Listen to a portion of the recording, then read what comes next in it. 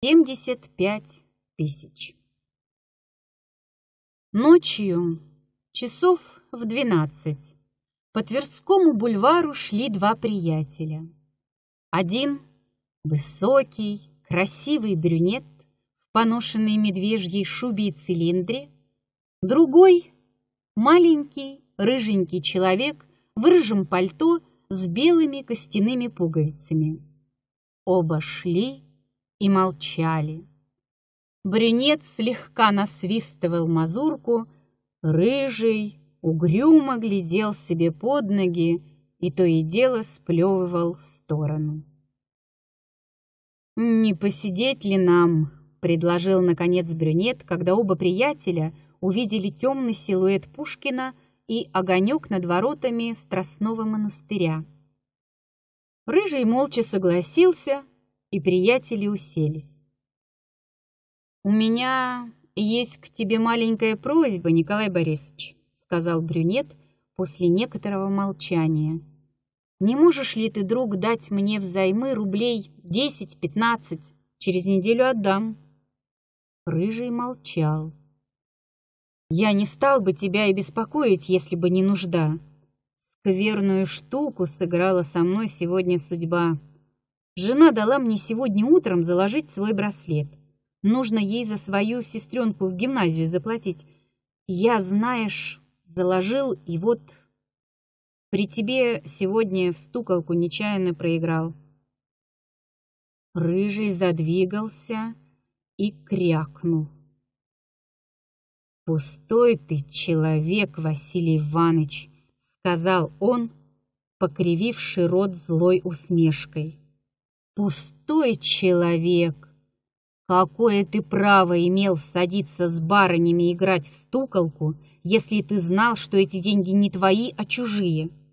Ну, не пустой ли ты человек, не фат ли? Постой, не перебивай. Да, я тебе раз навсегда выскажу. К чему эти вечно новые костюмы? Это вот булавка на галстухе. Для тебя ли, нищего мода? К чему этот дурацкий цилиндр? Тебе, живущему насчет жены, платить 15 рублей за цилиндр, когда отлично, ни в ущерб ни моде, ни эстетике, ты мог бы проходить в трехрублевой шапке. К чему это вечное хвастание своими несуществующими знакомствами? Знакомы с Хохловым, и с Плевака, и со всеми редакторами. Когда ты сегодня лгал о своих знакомствах, у меня за тебя глаза и уши горели. Лжешь и не краснеешь. А когда ты играешь с этими барынями, проигрываешь им Женины деньги, ты так пошло и глупо улыбаешься, что просто пощечины жалко. Ну, оставь, оставь. Ты не в духе сегодня. Ну, пусть это фотовство — есть мальчишество, школьничество. Я согласен допустить это, Василий Иванович. Ты еще молод. Но не допущу я, не пойму одной вещи. Как мог ты, играя с теми куклами, сподличить? Я видел, как ты, сдавая, достал себе из-под низу пикового туза. Василий Иванович покраснел, как школьник, и начал оправдываться. Рыжий настаивал на своем, спорили громко и долго. Наконец оба мало-помалу умолкли и задумались. «Это правда. Я сильно завертелся», — сказал брюнет после долгого молчания. «Правда. Весь я потратился, задолжался, растратил кое-что чужое и теперь не знаю, как выпутаться.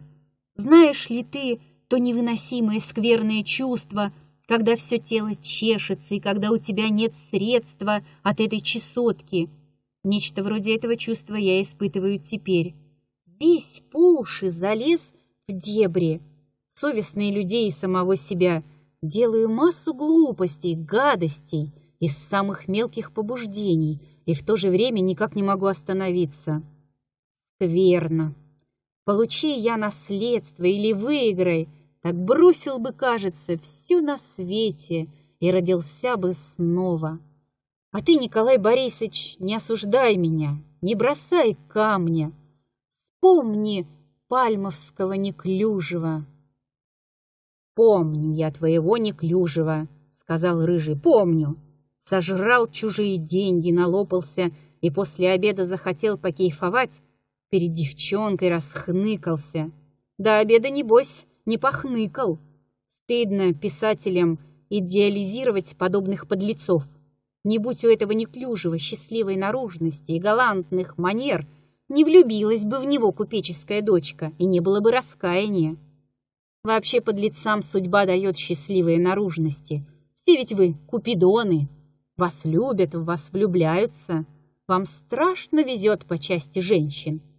Рыжий встал и заходил около скамьи. Твоя жена, например, честная, благородная женщина. За что она могла полюбить тебя? За что? И сегодня вот целый вечер, в то время, когда ты врал и ломался, не отрывала от тебя глаз хорошенькая блондинка. Вас, неклюжевых, любят, вам жертвуют, а тут всю жизнь работаешь, бьешься, как рыба об лед, честен, как сама честность, и хоть бы одна счастливая минута. А еще тоже, помнишь, был я женихом твоей жены Ольги Алексеевны, когда она еще не знала тебя. Был немножко счастлив. Но подвернулся ты, и я пропал. «Ревность!» — усмехнулся брюнет. «А я и не знал, что ты так ревнив!» По лицу Николая Борисовича пробежало чувство досады и годливости. Он машинально, сам того не сознавая, протянул вперед руку и махнул ею. Звук пощечины нарушил тишину ночи. Цилиндр слетел с головы брюнета и покатился по утоптанному снегу. Все это произошло в одну секунду, неожиданно, и вышло глупо, нелепо. Рыжему тотчас же стало стыдно этой пощечины. Он уткнул лицо в полинялый воротник своего пальто и зашагал по бульвару. Дойдя до Пушкина, он оглянулся на брюнета, постоял минуту неподвижно и, словно испугавшись чего-то, побежал к Тверской. Василий Иванович Долго просидел молча и не двигаясь. Мимо него прошла какая-то женщина и со смехом подала ему его цилиндр. Он машинально поблагодарил, поднялся и пошел. «Сейчас зудение начнется», — думал он через полчаса, сбираясь по длинной лестнице к себе на квартиру. «Достанется мне от супруги за проигрыш» всю ночь будет проповедь читать. Черт бы ее взял совсем. Скажу, что потерял деньги. Дойдя до своей двери, он робко позвонил. Его впустила кухарка. «Поздравляем вас!» — сказала ему кухарка, ухмыляясь во все лицо. «Чем это?» «А вот увидитесь!» Милостивился Бог. Василий Иванович пожал плечами и вошел в спальную. Там за письменным столом сидела его жена Ольга Алексеевна, маленькая блондиночка с попельотками в волосах. Она писала. Перед ней лежало несколько уже готовых запечатанных писем. Увидев мужа, она вскочила и бросилась ему на шею ты пришел!» — заговорила она. «Какое счастье! Ты не можешь себе представить, какое счастье! За мной истерика была, Вася, от такой неожиданности. На, читай!» И она, прыгнув к столу, взяла газету и поднесла ее к лицу мужа. «Читай! Мой билет выиграл семьдесят пять тысяч! Ведь у меня есть билет!» Честное слово, есть. Я скрывала его от тебя, потому что... потому что ты бы заложил его. Николай Борисович, когда был женихом, подарил мне этот билет, а потом не захотел его взять обратно. Какой хороший человек этот Николай Борисович. Теперь мы ужасно богаты.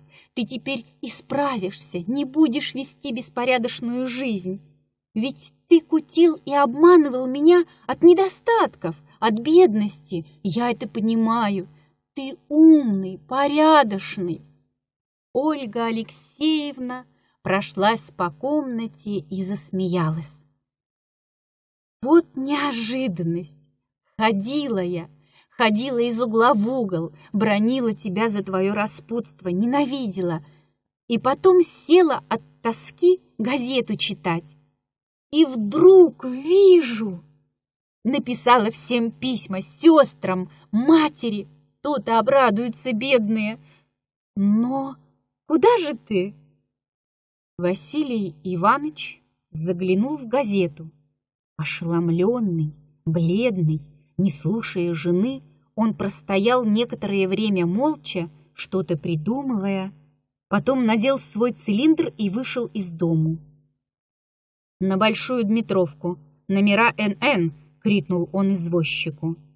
В номерах он не застал того, кто ему был нужен. Знакомый ему номер был заперт. «Она должно быть в театре», — подумал он, — «а из театра ужинать поехала. Подожду немного». И он остался ждать. Прошло полчаса, прошел час. Он прошелся по коридору и поговорил с сонным лакеем. Внизу на номерных часах пробило три. Наконец, потеряв терпение, он начал медленно спускаться вниз к выходу. Но судьба сжалилась над ним. У самого подъезда он встретился с высокой, тощей брюнеткой, окутанной в длинное буа. За ней по пятам следовал какой-то господин в синих очках и в мерлушковой шапке. «Виноват!» — обратился Василий Иванович к даме. «Могу ли я обеспокоить вас на одну минуту?» Дама и мужчина нахмурились. «Я сейчас», — сказала дама мужчине и пошла с Василием Ивановичем к газовому рожку. «Что вам нужно?» «Я к тебе, к вам, Надин, по делу», — начал заикаясь Василий Иванович. «Жаль, что с тобою этот господин, а то я бы тебе все рассказал». Да что такое? Мне некогда. Завела себе новых обожателей, да и некогда. Хороша, нечего сказать. За что ты прогнала меня от себя под Рождество? Ты не захотела со мной жить, потому что... потому что я тебе не доставлял достаточно средств к жизни. Вот ты и не права, оказывается. Да, помнишь ты тот билет, что я подарил тебе на именины? На, читай! Он выиграл семьдесят пять тысяч!» Дама взяла в руки газету и жадными, словно испуганными глазами стала искать телеграммы из Петербурга. И она нашла. В это же самое время другие глаза, заплаканные, тупые от горя, почти безумные, глядели в шкатулку и искали билета. Всю ночь искали эти глаза и не нашли. Билет был украден, и Ольга Алексеевна знала, кто украл его.